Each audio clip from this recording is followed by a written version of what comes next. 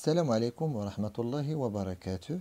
في إطار الاستعداد للموسم الجامعي المقبل ومواكبة الطلبة الجدد بالكلية إيكوفاين غادي تقدم لكم فيديو على نظام الدراسة في الجامعة المغربية. نظام الدراسة في الجامعة المغربية ما عنده حتى علاقة بنظام الدراسة بالثانوية. نظام الدراسة في الجامعة كيعتمد على ما يسمى بنظام ال LMD اللي كيتكون من ثلاثة ديال الأسلاك. اللي هما الإجازة الماستر والدكتوراه. ومن هنا جات التسمية ديالو بال LMD اللي هي الحروف الأولى ديال ال licence L ماستر M والدكتوراه D بالنسبة لسلك الإجازة كيتكون من ستة ديال السداسيات أي ستة ديال الدورات اللي هي ثلاث سنين بعد البكالوريا. بالنسبة لسلك الماستر كيتكون من ربعة ديال السداسيات اللي هي سنتان بعد الإجازة أي خمس سنين بعد البكالوريا. وفي الأخير سلك الدكتوراه اللي فيه ثلاثة سنوات على الأقل من بعد الماستر. بالنسبة للإجازة l'accès ليها كيكون مباشر. أما الماستر والدكتوراه ضروري من إجراء واحد المجموعة ديال المباريات. بالنسبة لنظام الدراسة بالجامعة كيعتمد على نظام الموديولات le système modulaire حيث أن السنة الجامعية كتكون من جوج ديال الأسدسين أي دورتين. إلا خدينا مثلا السنة الأولى فيها دورة أولى اللي هي الدورة الخريفية S un semestre un ودورة تانية اللي هي الدورة الربيعية S deux. وكل دورة كتكون من سبعة ديال الوحدات أو الموديولات. وباش تحصل على معدل في داك ال module خصك تحصل على معدل لا يقل على عشرة. كما قلنا ال module هي وحدة أساسية من نظام التكوين. كتكون واحد المادة اللي غادي تقرا باللغة الفرنسية. وهاد ال module أو هاد المادة كتكون على شكل إما دروس نظرية des cours théoriques كيتقراو في المدرجات ولا دروس موجهة les travaux dirigés على شكل تمارين أو دروس تطبيقية أو مشروع أو stage. الغلاف الزمني اللي كنخصو لكل module كيتراوح بين 40 و 50 ساعة وكيتقرا على مدار دورة كاملة أو سداسي. السنة الجامعية كما قلنا كتكون من جوج ديال السداسيات. المدة ديال كل سداسي أو دورة هي 16 أسبوع أي أربعة ديال الأشهر. دابا نشوفو نظام الامتحانات والتقويم بالجامعة. في نهاية كل أسدس أو دورة غادي دوز واحد الامتحان كتابي في جميع الوحدات إلا جبتي عشرة فما فوق في ال module في هاد الحالة راك فاليديتي كنقولو بأن ال module est validé mais كاين بعض الحالات فاش كتجيب قل من عشرة في هاد الحالة ممكن تكومبونسي. أو la compensation أو التكامل إلى فاليديتي الأسدس كامل غتقولي شنو هو التكامل؟ باش نبسط لكم هاد المفهوم نفترضوا أنك جبتي في واحد ال module 8 واحد ال module 12 يعني داك ال module اللي جبتي فيه 12 واحد جوج ديال النقط غادي تساعدك باش تغطي بها داك النقص اللي عندك في داك ال module اللي جبتي فيه 8 بحيث أنك إلا جمعتي 8 مع 12 غتعطيك 20 وغادي تقسمها على جوج غادي تعطيك 10 هنا كنقول بأن وقعت la compensation غير هنا هاد la compensation ما كنهضروا عليها حتى كيتفاليدا الاسدس كامل. donc إمتى كيتفاليدا هاد الاسدس كيتفاليدا الاسدس الا كان المعدل اللي حصلتي عليه في جميع الموديولات كيساوي على الاقل 10 يعني نفترضوا مثلا في السنة الأولى عندك سبعة ديال les modules على الأقل خصك تجيب 70 يعني 10 في كل module 10 في 7 هي 70 ولكن كاين شرط آخر هو أن ما يكونش حتى شي module من دوك الموديولات النقطة فيه قل من خمسة. بالنسبة لنظام الامتحانات كما قلنا في الحالة اللي ما كيتفاليداش فيها الاسدس بحال مثلا S 1 الدورة الأولى مثلا في السنة الأولى يعني أن المعدل عندك قل من 10 ممكن في هذه الحالة يتكومبونسا مع ال semestre اللي معاه في نفس السنة. اللي خصنا نفهمو مثلا في نظام الإجازة عندنا ثلاثة السنوات.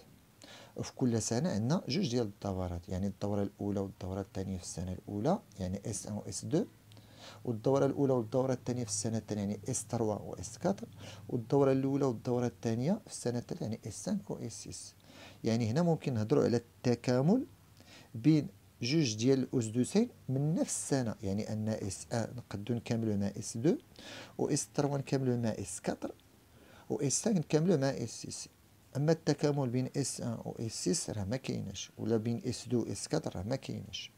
الشرطين كما قلنا المعدل ديال النقط المحصل عليه في الأسدسين أكبر أو يساوي 10 مثلا جبتي في S 1 9 وجبتي مثلا في S 2 11 اذا هنا 11 زائد 9 غادي تعطينا 20 نقسمها جوج تعطينا 10 والشرط الثاني كما قلنا ما تكونش جاي في شي module قل من خمسة.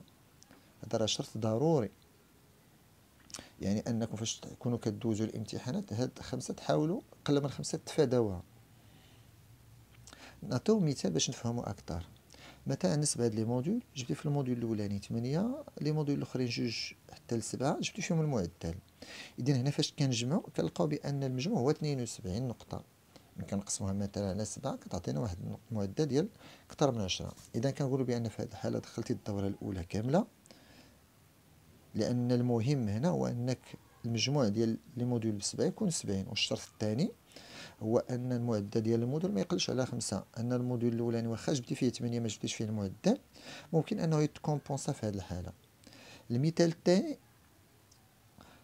ال module الأول جبتي فيه 3 فاش جمعنا هاد les modules بسبعة عطانا 83 يعني معدل قريب ل 12 ولكن في هذه الحالة كنقولوا بأن ال module راه ما تفاليداش.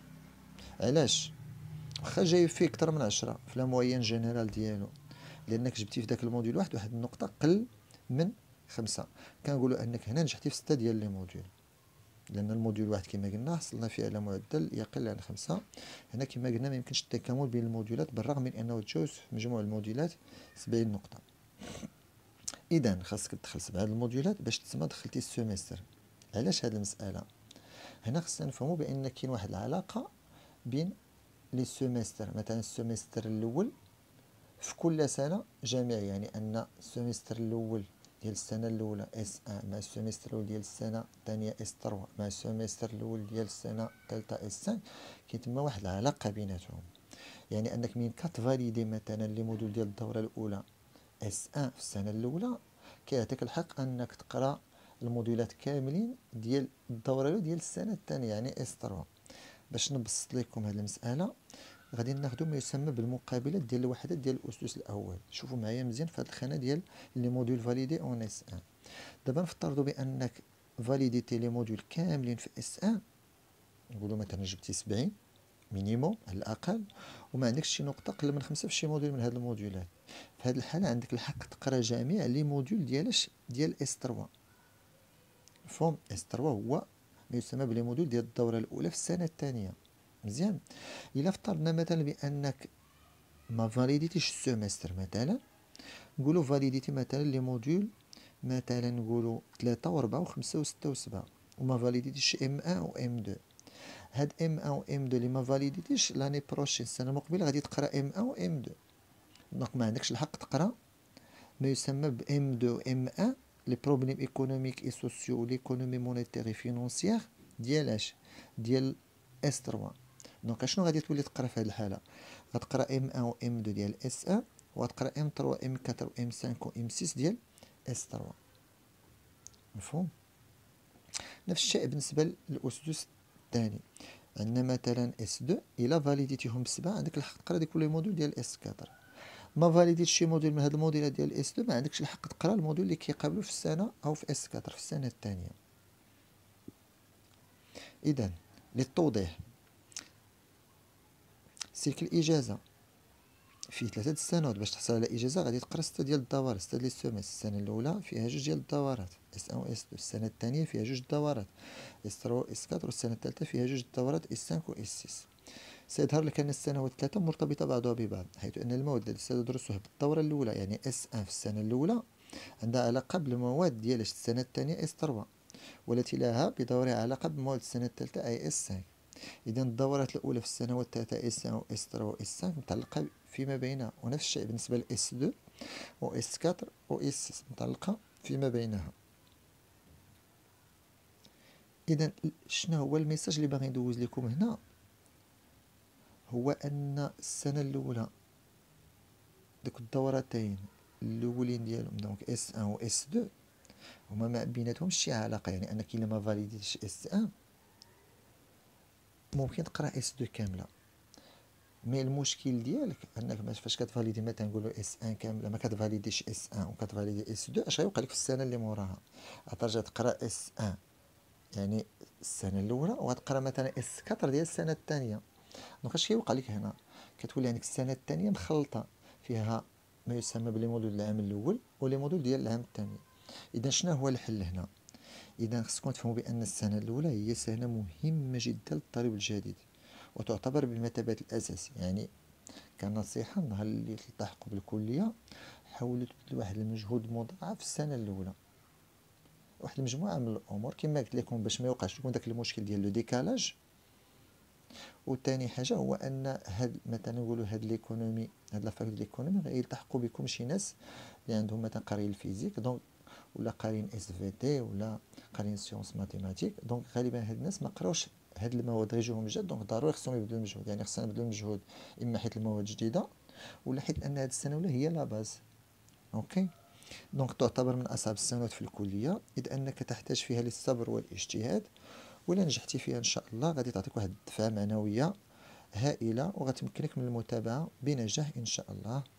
كنتمنى لكم التوفيق. وكنشكركم على حسن التتبع ديالكم.